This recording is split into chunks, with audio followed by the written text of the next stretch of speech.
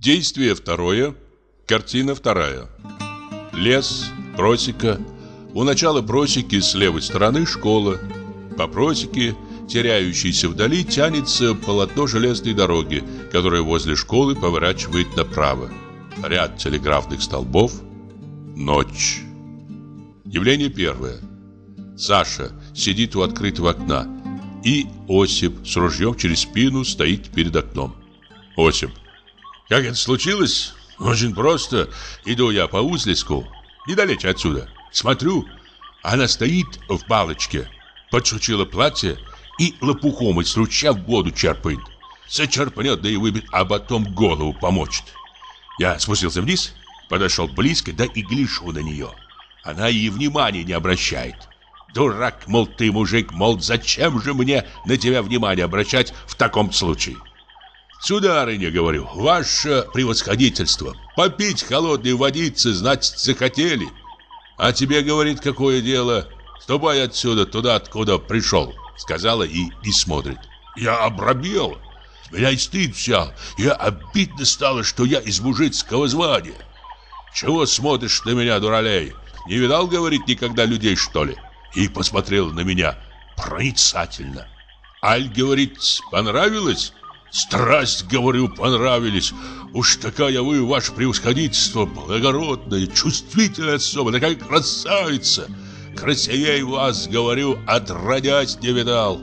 Наш деревенская красавица Манька Соцкого дочка, говорю, супротив вас лошадь, верблюд. Нежности вас сколько. Поцеловал бы, кажись, говорю, да и помер бы на этом самом месте. Она засмеялась, что ж, говорит, целуй, коли хочешь. Меня после этих слов шар бросило. Подошел я к ней, взял ее тихонько за плечико и поцеловал со всего размаху. Вот тут, в это самое место, в щечку и в шейку зараз. Саша хохочет. А она же что? Ну, теперь, говорит, проваливай. Умывайся, говорит, почаще, да ногти себе не запускай. Я и отошел. Какая она смелая. Подает Осипу тарелку щей. На, кушай. Присядь где-нибудь. И велик барин, и постою. Очень вам благодарен за ваше дружелюбие, Александра Ивановна.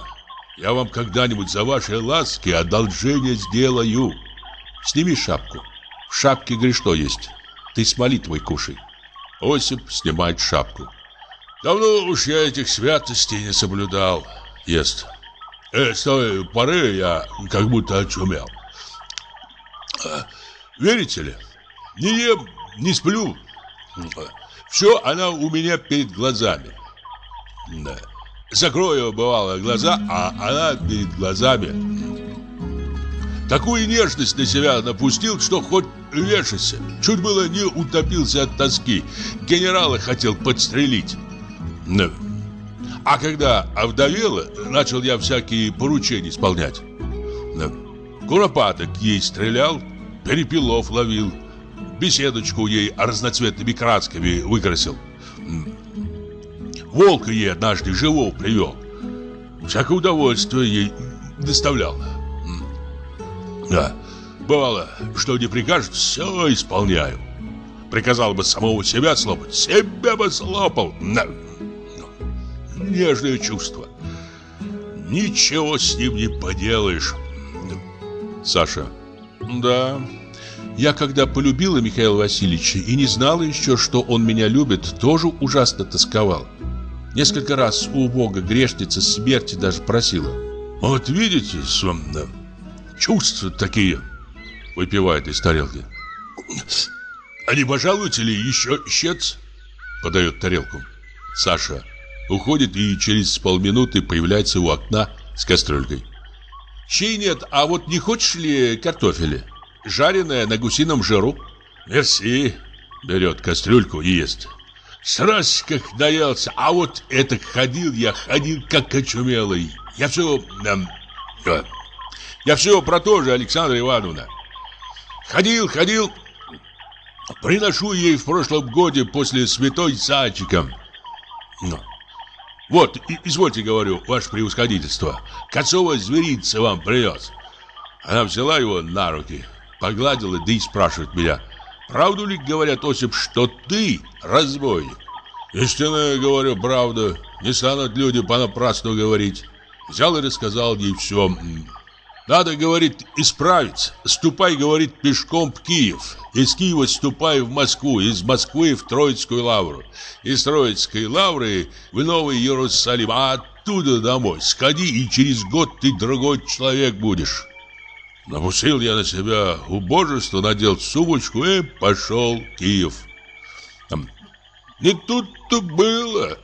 Исправился, да не совсем. А, славная картошка. Связался под Харьковом с почтенной компанией. Пробил денежки, подрался и воротился назад. И паспорт даже потерял. Пауза. Теперь ничего от меня не берет. Сердится. Почему ты в церковь не ходишь, Осип?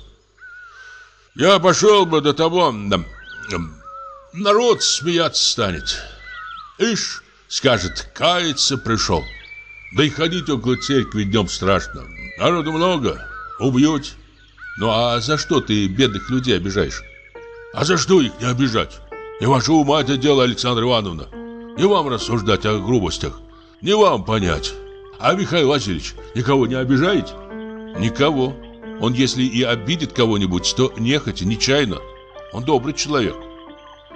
Да, я, признаться, его более всех уважаю. Генерал Чонок Сергей Павлович глуп человек, неумный.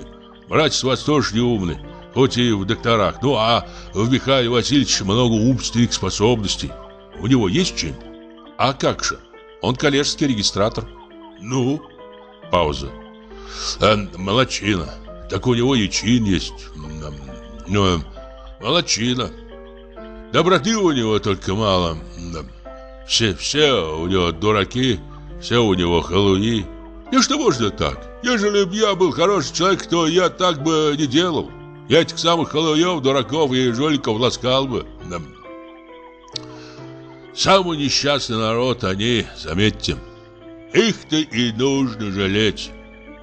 Мало в нем доброты, мало. Гордости нет, за понебраться со всяким, а доброты ни-ни. Не вам понять. Покорнейше благодарю. Век бы целый такую картошку ел. Подает кастрюльку. Благодарю. Не за что. Осип вздыхает. Славная вы женщина, Александра Ивановна. За что вы меня каждый раз кормите? У вас, Александра Ивановна, есть хоть капелька женской злобы? Благочестивая. Первый раз такое вижу. Святая Александра, моли Бога о нас грешных. Кланяется. Радуйся, святая Александра. Саша. Михаил Васильевич идет. Осип. Обманываете. Но он в настоящий момент с молодой барыней про нежные чувства рассуждает.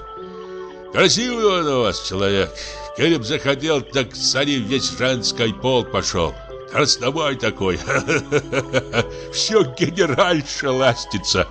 Ну, та и нос натрет, и посмотрит, что он красивый. Вот хотел бы, может быть, да она... Ты уж начинаешь лишнее болтать. Я не люблю этого. Иди с Богом. Сейчас пойду. Вам давно уже пора спать. Небось, мужа поджидаете? Да. Хорошая жена. Платонов должно быть такой женой себе 10 годов искал со свечками да с понятыми. Нашел-таки где-то. Кланяется. Прощайте, Александра Ивановна. Спокойной ночи. Саша зевает. Ступай с Богом. Осип. Пойду. Идет. Пойду к себе домой. Мой дом там, где пол, земля, потолок неба, а стены и крыша. Неизвестно в каком месте. Кого Бог проклял, тот и живет в этом доме.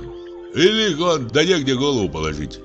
Только и хорош тем, что за него волость подземельных платить не надо. Останавливаться. Спокойной ночи, Александр Ивановна. В гости пожалуйте в лес. Спросите Осипа, каждая птица ящерица знает. Посмотрите, как пенек светится, как будто мертвец из гроба встал. А вот другой. Моя мать мне говорила, что под тем пеньком, который светится, грешник зарыт. А светится пень для того, чтоб молились. И надо мной будет пень светиться. Я тоже грешник.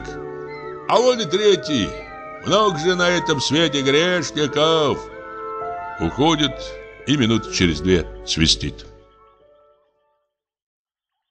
Явление второе. Саша выходит из школы со свечой и книгой. Как долго Миши нет. Садится. Как бы он себе здоровье не испортил. Эти гуляния ничего не дают, кроме и здоровья. Да и мне уже спать хочется. Где я остановилась?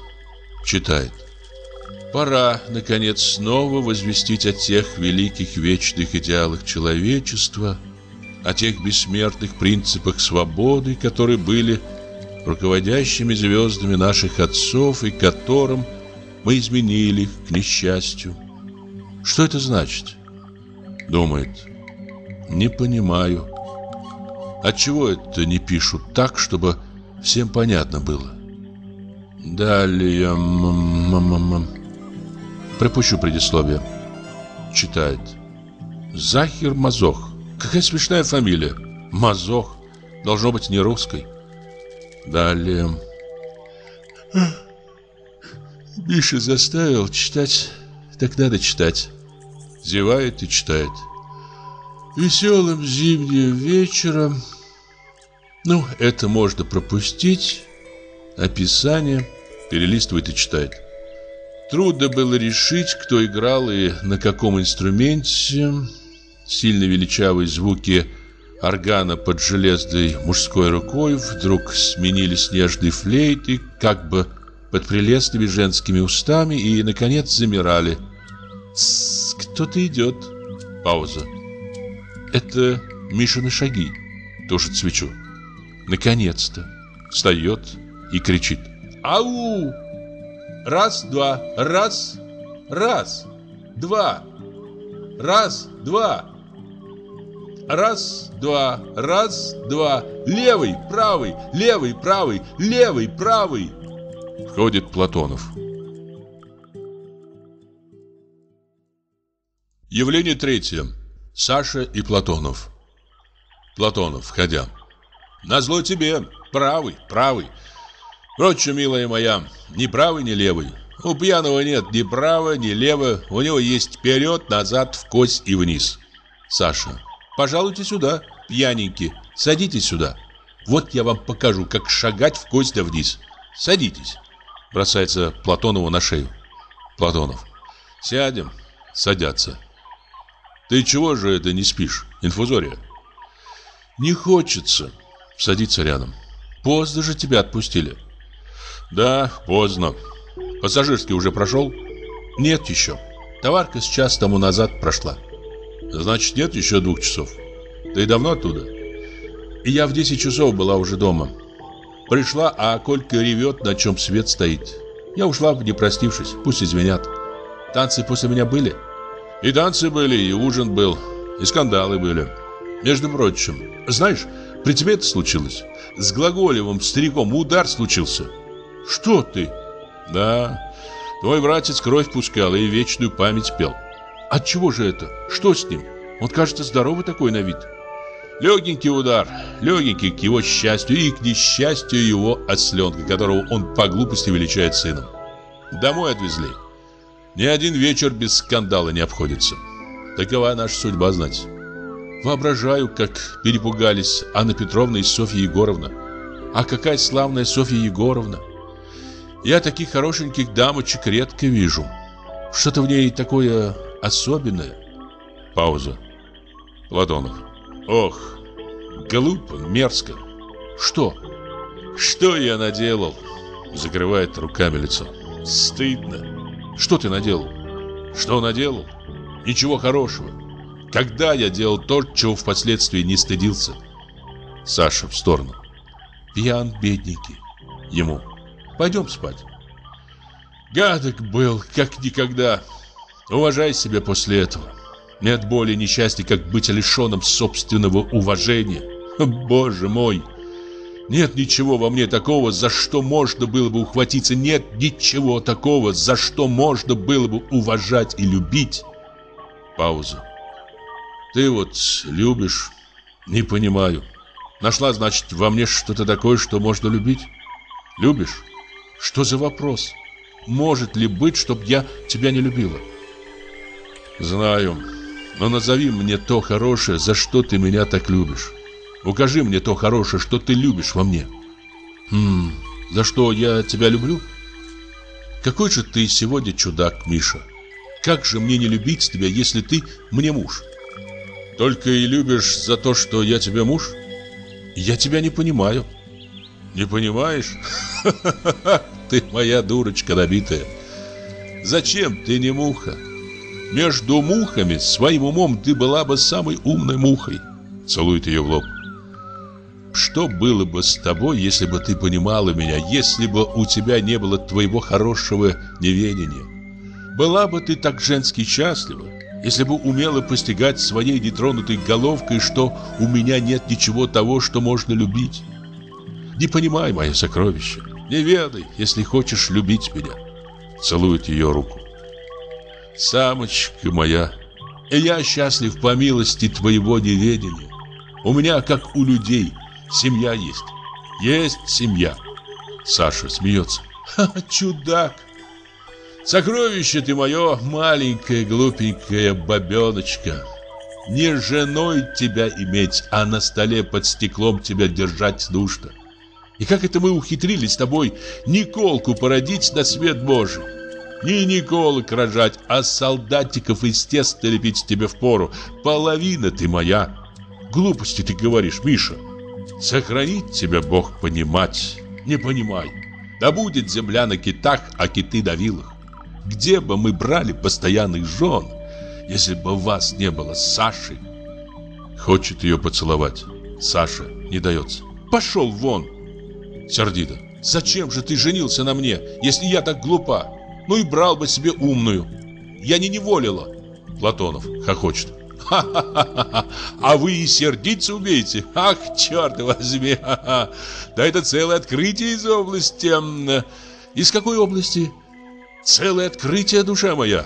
Так ты умеешь и сердиться? Ты не шутишь? Саша встает. Иди-ка, брат, спать. Если бы не пил, не делал бы открытий. Пьяница. А еще тоже учитель. Ты не учитель, а свинтус. Ступай спать. Бьет его по спине и уходит в школу.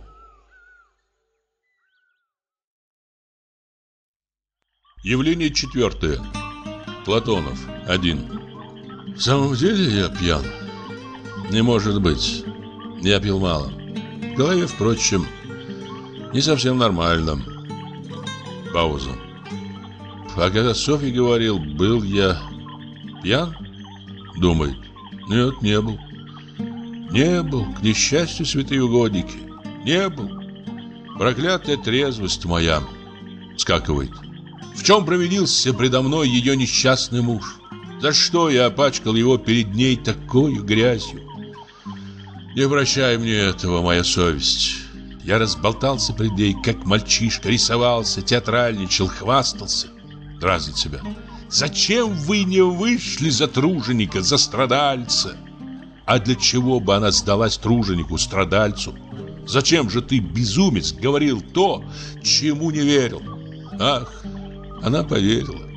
Она выслушала бреди глупца и опустила глазки. Раскисла, несчастная, разнежилась. Как это все глупо, как это все мерзко, нелепо. Опротивило все.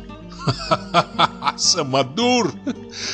Осмеяли купцов, самодуров, осмеяли насквозь. Был и смех сквозь слезы, и слезы сквозь смех. Кто же меня осмеет? Когда?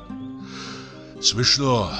Взяток не берет, не ворует, жены не бьет, мыслит порядочно. Негодяй. Смешной негодяй. Необыкновенный негодяй. Пауза. Надо ехать. Буду инспектор просить другого места. Сегодня же напишу в город. Входит Венгерович второй. Явление пятое. Платонов и Венгерович второй. Венгерович второй, входя. Хм. Школа, в которой вечно спит тот недоделанный мудрец. Спит он теперь по обыкновению или же бронится по обыкновению. Увидев Платонова. Вот он, пустой и звонкой. Не спит и не бронится. Не в нормальном положении ему. Не спите еще? Как видите, чего же вы остановились? Позвольте вам пожелать спокойной ночи. Сейчас уйду. Вы предаетесь уединению? Оглядывается. Чувствуете себя царем природы? В эдакую прелестную ночь вы домой идете? Да. Отец уехал, и я принужден идти пешком. Наслаждаетесь? А ведь как приятно, не правда ли? Выпить шампанского и под куражом обозревать самого себя. Можно сесть возле вас? Можете. Благодарю. Садиться. Я люблю за все благодарить. Как сладко сидеть здесь, вот на этих ступенях, и чувствовать себя полным хозяином. Где ваша подруга, Платонов? Ведь к этому шуму, к этому шепоту природы, пению и трещанию кузнечиков недостает только любовного лепета, чтобы все это обратить в рай. К этому кокетливому, робкому ветерку недостает только горячего дыхания милой, чтобы ваши щеки пылали от счастья. К шепоту матери природы не достает слов любви. Женщину. Вы смотрите на меня с изумлением. Я заговорил не своим языком? Да, это не мой язык. Отрезвившись, я не раз покраснею за этот язык. Впрочем, почему же мне и не поболтать поэтически? Хм, кто мне воспретит? Никто. Или, может быть, этот язык богов не соответствует моему положению, моей фигуре? У меня лицо не поэтическое? Платонов. Не поэтическое. Венгерович второй. Не поэтическое. -м. Очень рад. У всех евреев физиономии не поэтические. Подшутила природа, не дала нам, евреям, поэтических физиономий. У нас судят обыкновенно по физиономии, и на основании того, что мы имеем известные физиономии, отрицают в нас всякое поэтическое чувство. Говорят, что у евреев нет поэтов. Кто говорит? Все говорят. А какая ведь это подлая клевета? Полно придираться. Кто это говорит? Все говорят, а между тем сколько у нас настоящих поэтов. Не Пушкиных, не Лермонтовых, а настоящих. Ауэрбах, Гейде, Гёте. И Гёте немец. Еврей, немец. Еврей, знаю, что говорю. Я знаю, что говорю, но пусть будет по-вашему. Полуученого еврея трудно переспорить. Очень трудно. Пауза. Да хоть бы и не было поэтов. Велика важность. Есть поэт, хорошо, нет, и еще лучше. Поэт, как человек чувства, в большинстве случаев дармоед, эгоист. Гёте, как поэт, дал ли хоть одному немецкому пролетарию кусок хлеба? Платонов. Старо. Полный юноша. Он не взял куска хлеба у немецкого пролетария. Это важно. Потом лучше быть поэтом, чем ничем. Миллиард раз лучше. Впрочем, давайте замолчим. Отставьте вы в покое кусок хлеба о котором вы не имеете ни малейшего понятия, и поэтов, которых не понимает ваша высушенная душа, и меня, которому вы не даете покоя. Не стану шевелить вашего великого сердца, шипучий человек. Не стану стягивать с вас теплого одеяла. Спите себе. Пауза. Посмотрите-ка на небо. Да, здесь хорошо, покойно. Здесь одни только деревья. Нет этих сытых, довольных физиономий. Да, деревья шепчут не для меня, и луна не смотрит на меня так приветливо, как на этого Платонова. Она старается смотреть холодно. Ты, мол, не наш, ступай отсюда из этого рая в свою жидовскую лавочку. Впрочем, чепуха. Я заболтался. Довольно. Платонов. Довольно. Идите, юноша, домой. Чем более будете сидеть, тем больше наболтайте. А за болтовню эту вы краснеть будете, как вы сказали. Идите. Хочу болтать. Я теперь поэт. Не поэт тот, кто стыдится своей молодости. Вы переживаете молодость. Будьте же молодым. Смешно, глупо, может быть, но зато человечно. Так, какие глупости. Вы большой чудак, Платонов. Все вы чудаки здесь. Вам бы жить во времена Ноя. И генеральша чудачка, и войницев чудак. Между прочим, генеральша не дурна в телесном отношении. Какие у нее не глупые глаза, какие у нее хорошие пальцы. Не дурна отчасти. Грудь, шея. Пауза. Почему? Хуже я вас, что ли? Хоть бы раз в жизни. Если мысли так сильно привлекательно действуют на мой спиной мозг, то какое блаженство растопило бы меня в пух и прах, если бы она показалась сейчас между этими деревьями и понимала бы меня своими прозрачными пальцами. Не смотрите на меня так. Я глуп теперь, мальчуган. Впрочем, кто же смеет запретить мне хоть раз в жизни быть глупым? Я с научной целью хотел бы сейчас быть глупым, счастливым, по-вашему. Я и счастлив. Кому какое дело? Платонов. Но рассматривает его цепь. Венгерович. Впрочем, личное счастье – эгоизм. О да, личное счастье – эгоизм, а личное несчастье – добродетель. Сколько же, однако, у вас белиберды? Какая цепь? Какие чудные брелоки? Как сияет? Вас занимает эта цепь? Вас манит к себе эта мишура, этот блеск. Ай-яй-яй, качает головой. В эти минуты, когда вы поучаете меня чуть ли не стихами, вы можете восхищаться золотом. Возьмите эту цепь, бросьте. Срывает себя цепь и бросает ее в сторону. Платонов. Важно звякнуло. По одному этому звуку уж можно заключить, как она тяжела. Золото тяжело не на один только вес. Счастливы вы, что можете сидеть на этих грязных ступенях. Здесь вы не испытываете всей тяжести этого грязного золота. О, эти мне золотые цепи, золотые оковы. Не всегда прочные оковы. Пропили их наши отцы. Сколько несчастных, сколько голодных, сколько пьяных под луной. Когда же, наконец, миллионы много сеющих и ничего не ядущих перестанут голодать? Когда, я вас спрашиваю? Платонов, от чего же вы не отвечаете? Оставьте меня. Сделайте такое одолжение. Не люблю без умолку и без толку звонящих колоколов. Извините, но оставьте меня. Спать хочу. Я колокол? Ммм, скорее же вы колокол. Я колокол, и вы колокол. Стоит только разницы, что я в себя сам звоню, а в вас звонят другие.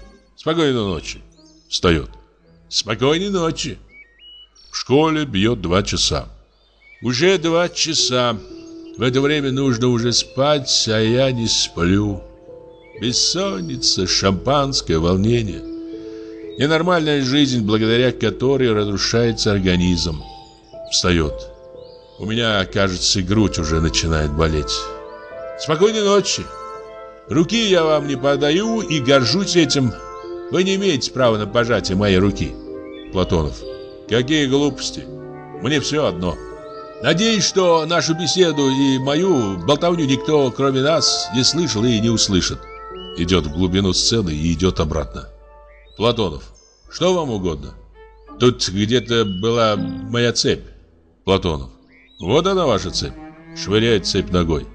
Не забыл таким. Послушайте, будьте так любезны, пожертвуйте эту цепь в пользу одного моего знакомого, принадлежащего к разряду многосеющих и ничего не ядущих. Эта цепь будет кормить его и его семью целые годы. Позвольте передать ее ему. Нет, с удовольствием отдал бы, но, честное слово, не могу. Это подарок, сувенир.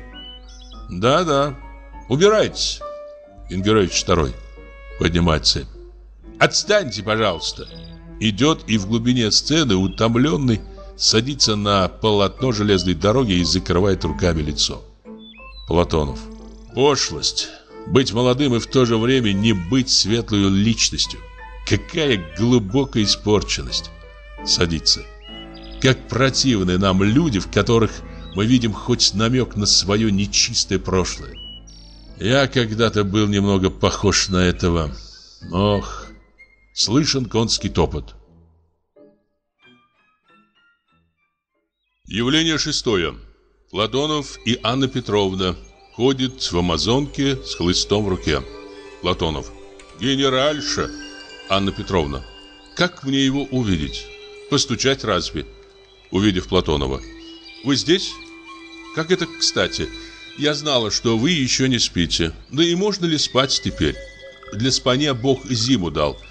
Доброй ночи, человечина. протягивает руку. «Ну, что же вы?» «Руку?» Платонов протягивает руку. «Вы не пьяны, Платонов?»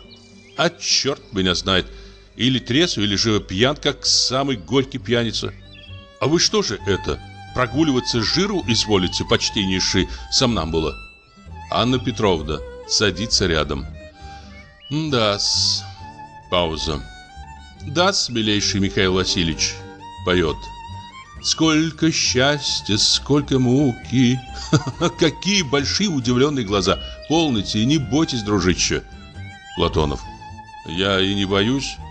За себя, по крайней мере. Пауза. Вы, я вижу, ерундой вздумали заниматься. На старости лет. Старухам простительно, те с дуру. А вы какая старуха? Вы молоды, как лето в июне. Ваша жизнь впереди. Мне нужна жизнь теперь, а не впереди. А я молода, Платонов, ужас как молода. Чувствую. Так ветром и ходит по мне эта молодость. Чертовски молода. Холодно. Пауза. Платонов скакивает. Не хочу ни понимать, ни угадывать, ни предполагать. Ничего не хочу. Идите. Назовите меня невеждой и оставьте меня. Прошу вас. Ммм. Да чего смотреть так? Да вы... Вы подумайте. Я уже думала. Вы подумайте, гордая, умная, прекрасная женщина. Куда и зачем вы пришли? Ах, не пришла, а приехала, мой милый. С таким умом, с такой красотой, молодостью. Ко мне. Глазам, ушам не верится. Пришла победить, взять крепость. Не крепость я, не побеждать вы пришли. Я слабость, страшная слабость, поймите вы. Анна Петровна. Встает и подходит к нему. Самоуничижение паче гордости. Как же быть, Мишель? Надо же чему-нибудь кончить. Согласись сам, что не буду я кончать, потому что я ничего не начинал. Э, философия гадкая, и тебе не стыдно лгать? В такую ночь при таком небе и лгать? Лги осенью, если хочешь, в грязь, в слякоть, но не теперь, не здесь. Тебя слышат, на тебя смотрят. Взгляни, чудак, вейх. Пауза. Вон и звезды мерцают, что ты лжешь. Полно, милый мой. Будь же хорошим, как все это хорошо. Не нарушай своей маленькой особой этой тишины. Отгони от себя своих бесов. Обнимает его одной рукой. Нет другого, которого я любила бы так, как я тебя люблю. Нет женщины, которую ты любил бы так, как меня любишь. Возьмем себе одну только любовь, а остальное, что тебя так мучит, пусть решат другие. Целует его. Возьмем себе одну только любовь. Одиссей стоил того, чтобы ему пели сирены. Но не царь Одиссей, а сирена. Обнимает ее. Если бы я мог дать тебе счастье. Как ты хороша. Но не дам я тебе счастья. Я сделаю из тебя то, что делал я из всех женщин бросавшихся мне на шею. Я сделаю тебя несчастной. Как много ты о себе думаешь. Неужели ты так ужасен, Дон Жуан? Ха -ха -ха, какой же ты хорошенький при лунном свете. Прелесть. Знаю я себя. Те только романы и оканчиваются благополучно, в которых меня нет. Анна Петровна, сядем. Сюда вот. Садятся на полотно. Еще что скажешь, философ? Если бы я был честным человеком, я ушел бы от тебя. Я сегодня предчувствовал это, предвидел. Почему же я, негодяй, не ушел? Отгони от себя бесов, Мишель. Не отравляйся. Ведь к тебе женщина пришла, а не зверь. Лицо постое, на глазах слезы. Фи, если тебе это не нравится, то я уйду. Хочешь? Я уйду, и все останется по-старому. Идет? Дуралей. Бери, хватай, хапай. Что тебе еще? Выкури всю, как папиросу, выжми, на кусочки раздроби. Будь человеком. Тормошит его. Смешной. Но разве ты моя? Разве ты про меня писана? Целует ее руки. Иди к другому, моя дорогая. Ступай к тому, который стоит тебя. Ах, полно тебе молоть чепуху. Дело ведь очень просто. К тебе пришла женщина, которая тебя любит и которую ты любишь. Погода прелестная. Что может быть проще? К чему же тут эта философия, политика? Порисоваться разве хочешь? Платонов. Ммм, встает. А если ты пришла пошалить мной? Поразвратничать, покуролесить? Тогда что? Ведь я не гожусь во временно обязанный.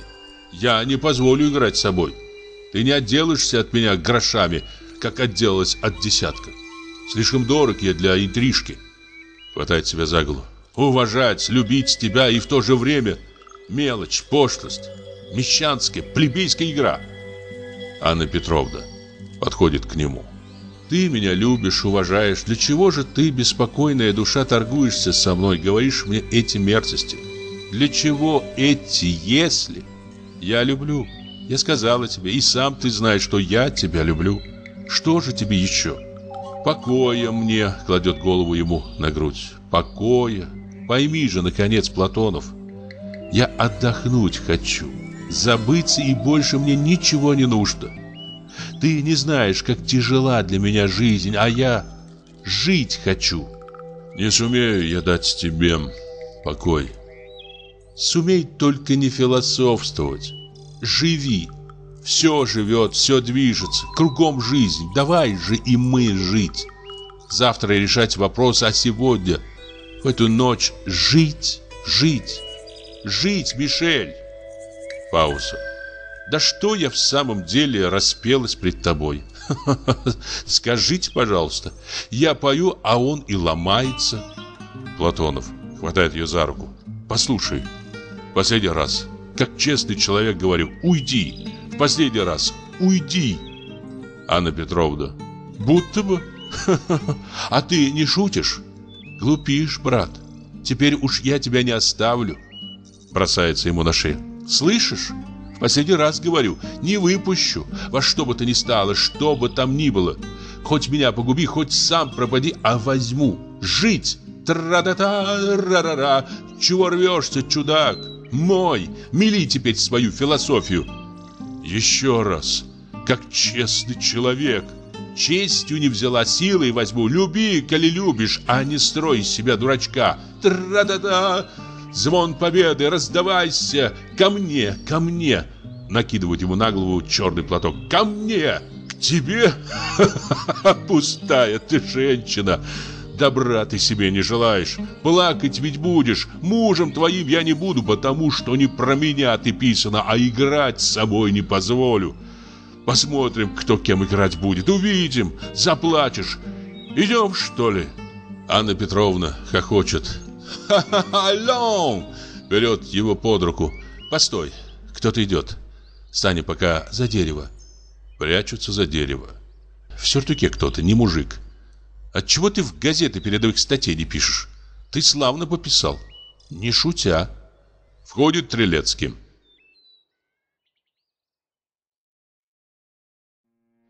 Явление седьмое.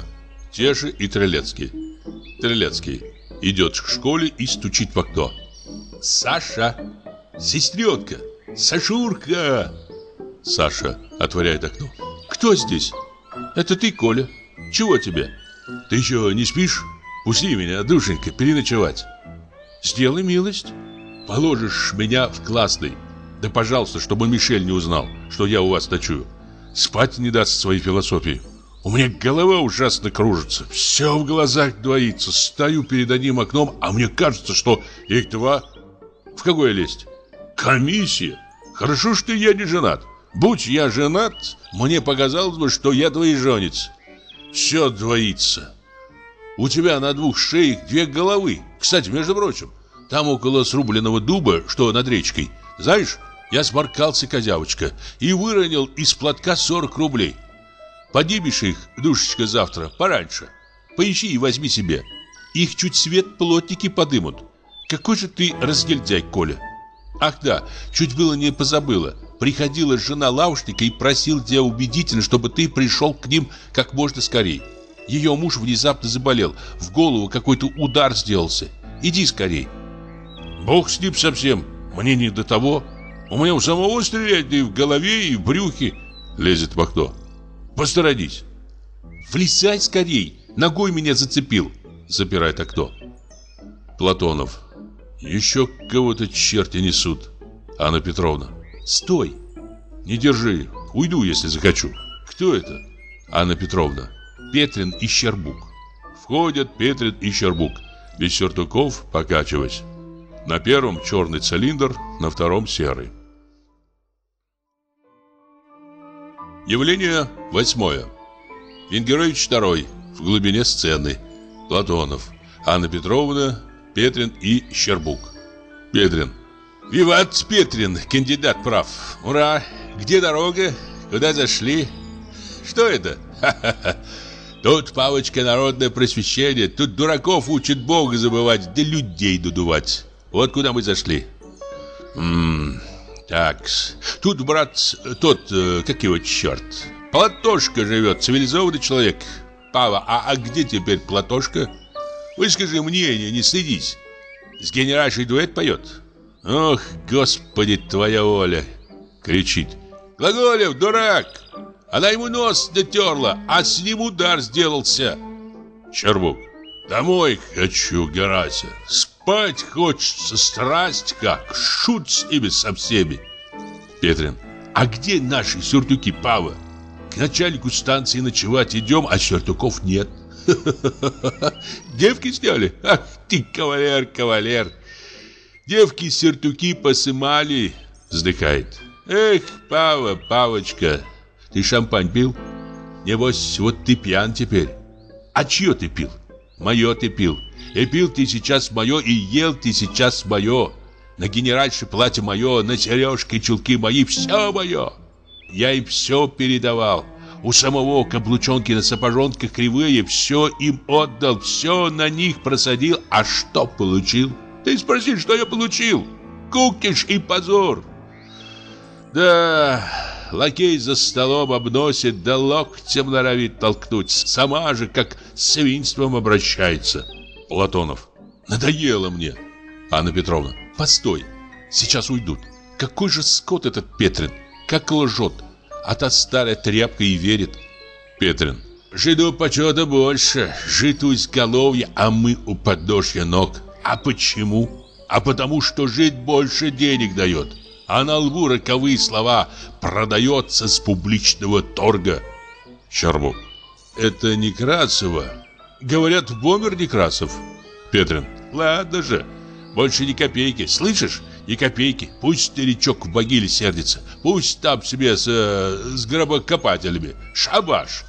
Протестую, векселя, завтра же. Я ее в грязь головой поставлю неблагодарную. Щербук. Она, гора, барон. У нее генеральское лицо, а я калмык и больше ничего. Меня пущает Дуняша обожает. Какая дорога неровная. Шоссе бы надо со столбами телеграфическими, с колоколами. Дзи-дзи-дзи. Уходят. Явление девятое. Те же без Петрина и Щербука. Анна Петровна выходит из-за деревьев. Ушли? Платонов. Ушли. Анна Петровна берет его за плечи. Шествуем? Платонов. Пойдем. Иду, но если бы ты знала, как мне не хочется идти. Пойду не я к тебе, а черт, который бьет меня теперь по затылку. Иди, иди. Пойми же, если моя совесть не принимает твоей любви, то только потому, что она глубоко убеждена в том, что ты делаешь непоправимую ошибку. Саша в окно. «Миша! Миша! Где ты?» Платонов. «Черт возьми!» Саша в окно. «Ах, я вижу тебя! С кем это ты?» «Ха-ха! Анна Петровна! На силу я вас узнала! Вы такая черная! В чем это вы? Здравствуйте!» «Здравствуйте, Александра Ивановна!» Саша. «Вы в Амазонке? Катайтесь, значит?» Отличное дело. Ночь такая хорошая. Поедем и мы с тобой, Миша. Анна Петровна. Я уже накаталась, Александра Ивановна. Домой сейчас еду.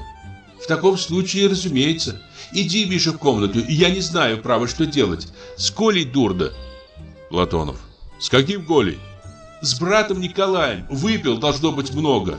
Войди, пожалуйста. Заходите и вы, Анна Петровна. Я сбегаю в погреб и сливок принесу. По стакану выпьем холодные сливки. Благодарю вас, я сейчас домой еду. Платонову. Ступай, я подожду. Саша. А то бы я сбегала в погреб. Иди, Миша. Скрывается. Платонов. Совершенно забыл о ее существовании. Верит, верит как. Ступай. Я уложу ее спать и приду. Скорей же. Чуть-чуть скандала не было. Прощай пока. Идет в школу.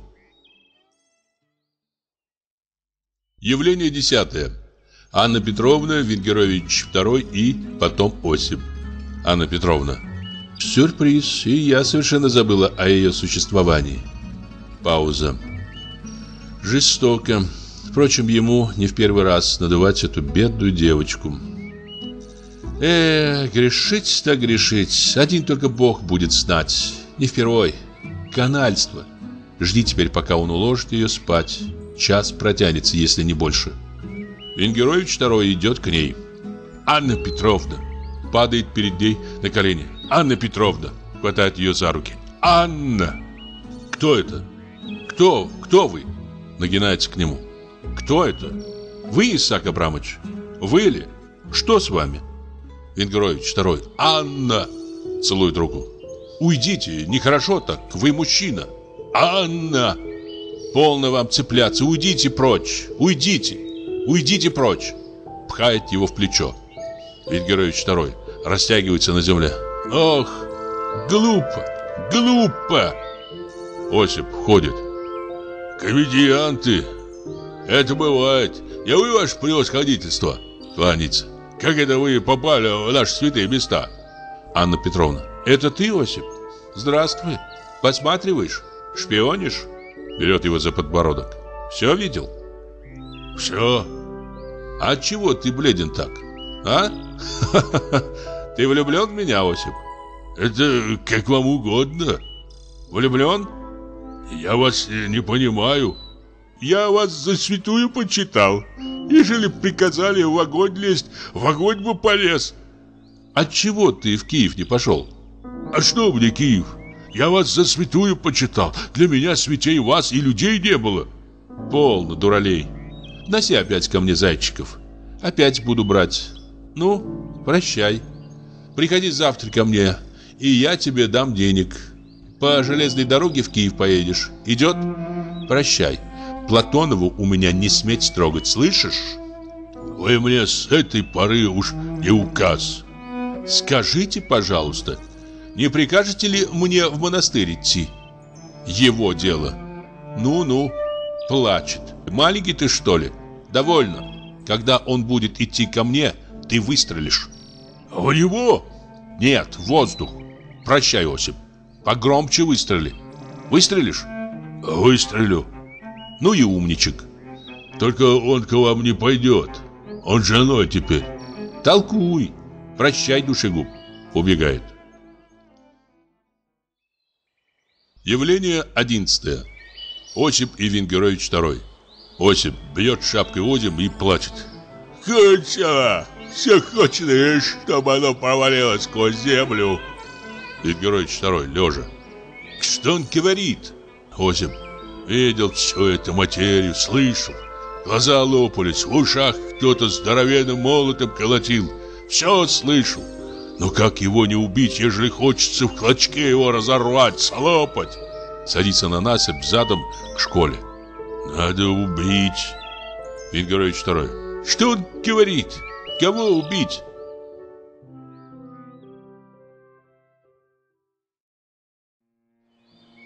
Явление 12. Те же Платонов и Трелецкий. Платонов выталкивает из школы Трелецкого. Вон, Изволь сию же минуту отправляться к лавушнику. Марш!» Трелецкий потягивается. лучше бы ты потянул меня завтра большой палкой, чем сегодня будить.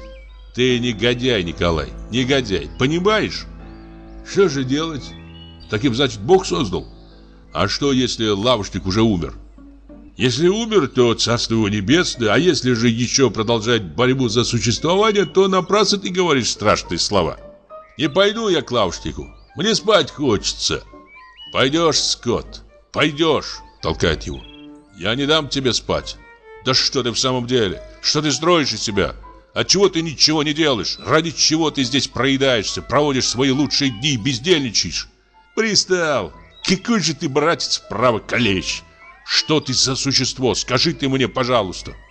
Это ужасно. Для чего ты живешь? От чего ты не занимаешься наукой? От чего не продолжаешь своего научного образования? Наукой от чего не занимаешься? Животное! Об этом интересном предмете поговорим, когда мне не будет спать хотеться. А теперь пусти меня спать. Чешется. Черт знает что. Ни с того, ни с сего. Вставай, негодяй. Ну, честные правила. Черт бы их сеял, эти честные правила. Какому богу ты служишь, странное существо? Что ты за человек? Нет, не будет из нас толку. Нет, не будет. Послушай, Михаил Васильевич, кто дал тебе право запускать свои холодные лапища в чужие сердца? Твоя бесцеремонность выше всяких удивлений, братец. Не выйдет из нас ничего, кроме лишаев земли. Пропащий мы народ, гроша мы не стоим. Плачет. Нет человека, на котором могли бы отдохнуть глаза. Как все пошло, грязно и стаскано. Иди прочь, Николай, уйди. Трелецкий пожимает плечами. Плачешь? Пауза. Я пойду к лавочнику. Слышишь, я пойду. Как хочешь. Пойду. Иду вот. Платонов стучит ногами. Пошел прочь. Хорошо. Ложись-ка спать, Мишель. Не стоит волноваться. Прощай. Идет и останавливается. На прощание одно слово. Посоветую всем проповедникам, в том числе и самому себе, чтобы слово проповедническое клеилось с делами проповедника. Если твои глаза не умеют отдохнуть на тебе самом, то не моги требовать от меня отдыха для твоих глаз, которые, апропо, очень хороши у тебя при лунном свете. Апропо, кстати, с французского. Они блестят у тебя, как зеленые стеклушки. И еще вот что. С тобой бы говорить не следовало. Тебя бы избить страшно. Изломать на куски. Разорвать бы с тобой навсегда за эту девочку. Сказать бы тебе то, чего ты отродясь не слышал. Но не умею. Я плохой дуэлист. И это твое счастье. Пауза. Прощай. Уходит. Явление 13. Платонов, Венгерович II и Осип. Платонов. Хватай тебя за голову. Не один я таков. Все таковы. Все. Где же люди, боже мой? Я-то каков. Не ходи к ней. Она не твоя. Это чужое добро. Испортишь ее жизнь, исковеркаешь навсегда. Уйти отсюда. Нет, Буду у ней, буду здесь жить, буду пьянствовать, язычничать. Развратные, глупые, пьяные, вечно пьяные, глупая мать родила от пьяного отца. Отец, мать, отец. О, чтоб у вас там кости так переворачивались, как вы с пьяна и с дуру переворачивали мою бедную жизнь. Пауза. Нет. Что я сказал? Бог простит. Царство небесное. Наталкивается на лежащего Венгеровича. Это кто? Венгерович второй. Поднимается на колени. Дикая, безобразная, позорная ночь. Платонов. А, пойди и запиши эту дикую ночь в свой дурацкий дневник чернилами из отцовской совести. Прочь отсюда. Да, запишу. Уходит. Платонов. Что он здесь сделал? Подслушивал? Осипу. Ты кто? Ты зачем здесь, вольный стрелок? Тоже подслушивал? Прочь отсюда. Или постой. Догони Венгеровича и сними с него цепь. Осип встает. Какую цепь? У него на груди висит большая золотая цепь. Догони его и сними. Живей! Стучит ногами. Скорее, а то не догонишь. Он бежит теперь к деревне, как сумасшедший. А вы генеральша? Беги скорее, негодяй. Не бей его, а только сними цепь. Пшел. Чего стоишь? Беги. Осип убегает. После паузы. Идти. Идти или не идти? Вздыхает. Идти. Пойду затяну длинную, в сущности скучную, безобразную песню. Я уже думал, что я хожу в прочной броне. А что же оказывается? Женщина сказала слово, и во мне поднялась буря. У людей мировые вопросы, а у меня женщина. Всю жизнь женщина. У Цезаря Рубикон, у меня женщина, пустой бабник. Не жалко было бы, если бы не боролся, а то ведь борюсь. Слаб, бесконечно слаб. Саша в окно. «Миша, ты здесь?» Платонов. «Здесь мое бедное золото». «Иди в комнату». «Нет, Саша, я хочу побыть на воздухе. У меня голова трещит. Спи, мой ангел». Саша. «Спокойной ночи». Закрывает окно. Платонов. Тяжело надувать того, кто верит безгранично. Я и вспотел, и покраснел. Иду. Идет.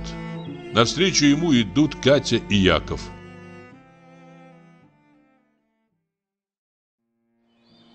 Явление 14. Платонов, Катя и Яков. Катя Якову. Постой здесь. Я сейчас. Только книгу возьму. Не уйди же, смотри. Идет навстречу Платонову. Платонов, увидев Катю. Ты? Что тебе? Катя, испугавшись. Ах, это вы? Мне вас нужно. Это ты, Катя? Все, начиная с барышни и кончая горничной, все ночные птицы. Что тебе? Катя, тихо. Вам барыня письмо прислала. Что? Вам барыня письмо прислала. Что врешь? Какая барыня? Катя, тише. Софья Егоровна. Что? Ты с ума сошла? Окати себя холодной водой. Пошла вон отсюда. Катя подает письмо. Вот оно. Платонов вырывает письмо. Письмо. Какое письмо? Нельзя было завтра принести. Распечатывает. Как же я его буду читать? Катя. Просили как можно скорей. Платонов. Зажигает спичку. Черт вас носит. Читает. Я делаю первый шаг Иди, сделаем его вместе. Я воскресаю, иди и бери, твоя. Черт знает, телеграмма какая-то. Жду до четырех часов в беседке около четырех столбов. Пьяный муж уехал с молодым Глаголевым на охоту. Вся твоя, С. Этого еще не доставало. Боже мой, этого еще не доставало. Катя, что смотришь? Как же мне не смотреть, если у меня глаза есть? Выголись себе свои глаза. Это ко мне письмо? К вам-с. Врешь. Прочь отсюда. Слушаюсь. Уходит с Яковом. Явление 15. Платонов. Один. Платонов. После паузы. Вот они последствия. Доигрался малый. Исковеркал женщину, живое существо. Так, без толку, без всякой на то надобности. Проклятый язык. Довел до чего. Что теперь делать? А ну-ка, мудрая ты голова, подумай. Брони себя теперь, рви волосы. Думает. Ехать. Сейчас же ехать и не сметь показываться сюда до самого страшного суда. Марш отсюда на все четыре стороны, в ежовые рукавицы нужды, труда. Лучше худшая жизнь, чем эта с этой историей. Пауза. Еду. Но неужели Софья на самом-таки деле любит меня? Да? Смеется. Ха-ха-ха. За что? Как все темно и странно на этом свете. Пауза. Странно. Неужели эта прекрасная мраморная женщина с чудными волосами в состоянии полюбить нищего чудака? Неужели любит? Невероятно зажигает спичку и пробегает письмо. Да, меня? Софья? Ха-ха-ха, любит. Хватает себя за грудь. Счастье? Да ведь это счастье. Это мое счастье. Это новая жизнь с новыми лицами, с новыми декорациями. Иду. Марш в беседку около четырех столбов. Жди, моя Софья. Была ты и будешь моей. Идет и останавливается. Не пойду. Идет обратно разбивать семью, кричит. «Саша, иду в комнату, отворяй!» Хватает себя за голову. «Не пойду, не пойду, не пойду!» Пауза. Пойду. Идет. Иди, разбивай, топчи, оскверняй. Сталкивается с Войницевым и Глаголевым вторым. Явление 16. Платонов, Войницев и Глаголев второй. Войницев и Глаголев второй вбегают с ружьями через спину. Войницев. Вот он, обнимает Платонова. Ну, на охоту едем. Нет, постой. Ванизов. Что рвешься, друг? Ха-ха-ха. Пьян, я пьян. Первый раз в жизни пьян. Боже мой, как я счастлив, друг мой. Обнимает Платонова. Едем, едем. Она послала меня, приказала настрелять для нее дичи. Глаголев второй. Скорее едемте, уже светает. Войницев. Ты слышал, что мы выдумали? Не гениально разве? Мы думаем Гамлета сыграть, честное слово. Такой театр удерем, что даже чертей затошнит. Как ты бледен. И ты пьян? Платонов. Пусти, пьян. Ваницев. Постой. Моя идея. Завтра же начинаем декорации писать. Я Гамлет, Софи, Офелия, ты Клавдий, Трилецкий, Горацио. Как я счастлив, доволен. Шекспир, Софи, ты и Баман. Больше мне ничего не нужно. Впрочем, еще клинка. Ничего больше. Я Гамлет. И этому злодею, стыд женщины, супруги матери забыв, могла отдаться ты. Чем не Гамлет? Платонов вырывается и бежит. Подлец! Убегает. Войницев. Тю-лю-лю, пьян. Важно. Каков наш друг? Глаголев второй. Наспиртован. Идем. Войницев. Едем. И вы были бы моим другом, если бы... Офелия! О, нимфа, помяни мои грехи в твоих святых молитвах! Уходит. Слышен шум идущего поезда. Явление 17. Осип и потом Саша. Осип вбегает степью. «Где он?» Оглядывается. «Где он? Ушел? Нет его?» Свистит. Михаил Васильевич! Ау!» Пауза. «Нет!» Подбегает к окну и стучит. «Михаил Васильевич! Михаил Васильевич!» Разбивает стекло. Саша в окно. «Кто здесь?» «Позвольте, Михаил Васильевич, скорей!» «Что случилось? Его нет в комнате!» Осип кричит. «Нет! Пошел генеральша, значит! Генеральша здесь была и к себе его звала!» «Все пропало, Александра Ивановна!» «Генеральша пошел он проклятый!» Лжешь! Накажи меня, Господь, генеральши, все слышал и видел. Они тут обнимались, целовались. Лжешь! Чтоб ни отцу моему, ни матери не увидать царство небесного калевру. Генеральши, от жены ушел. Догоните его, Александра Ивановна. Нет, нет, все пропало, и вы несчастные теперь. Снимает с плеч ружье. Она приказала мне в последний раз, а я исполняю в последний раз. Стрелять в воздух. Пусть встречает бросает ружье на землю. «Зарежу его, Александра Ивановна!» Перепрыгивает через насыпь и садится на пень. «Не беспокойтесь, Александра Ивановна, не беспокойтесь, я его зарежу, не сомневайтесь!» Показываются огни. Саша выходит в ночной кофточке с распущенными волосами. «Ушел, обманул, пропал я, убей меня, Господи, после этого!» Свисток. «Под машину лягу, не хочу я жить. Ложится на рельсы. Обманул. Убей меня, Божья Матерь. Пауза. Прости, Господи. Прости, Господи. Вскрикивает. Коля! Поднимается на колени. Сын! Спасите! Спасите! Вот она! Машина идет! Спасите! Осип подскакивает к Саше, падает на рельсы. Ах! Осип берет ее и несет в школу. Зарежу! Не беспокойтесь! Идет поезд. Конец второго действия.